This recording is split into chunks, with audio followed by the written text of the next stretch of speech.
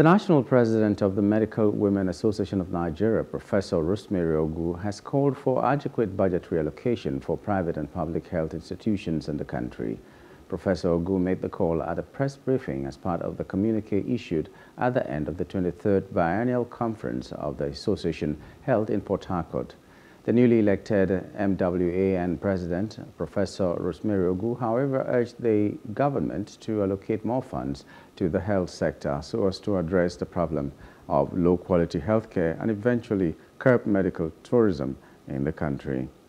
Professor Ogu called on the government to prioritize the welfare of doctors in, uh, in order to fight against brain drain and continuous training and retraining of healthcare workers by the government at all levels so as to develop their human capital development skills and deliver robust healthcare in the country.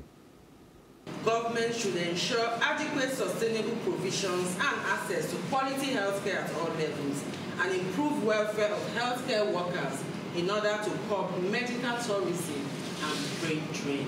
We can reverse our brain drain into brain that the current state of private and public health services should be compared with global practices and that funding is the perennial issue plaguing our health system.